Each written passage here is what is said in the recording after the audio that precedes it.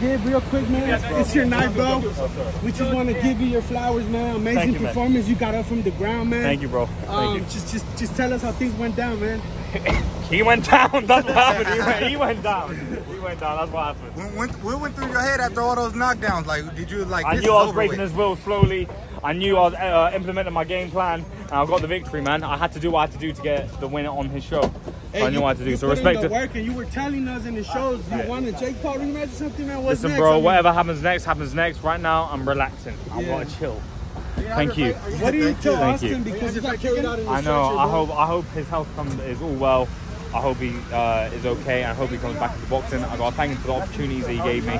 So I do give him my respect. Hey, what you do? What you did in there, bro? That's not a fighter, I don't know what is. Talk to you, bro. Props to Thank you, bro. Thank you, man. Enjoy your day. Yeah. Bye, bye, guys. Again? I'm gonna get my fried chicken. now. There you go. What's your message to the Queen family? Respect. Thank you. Was that one for her?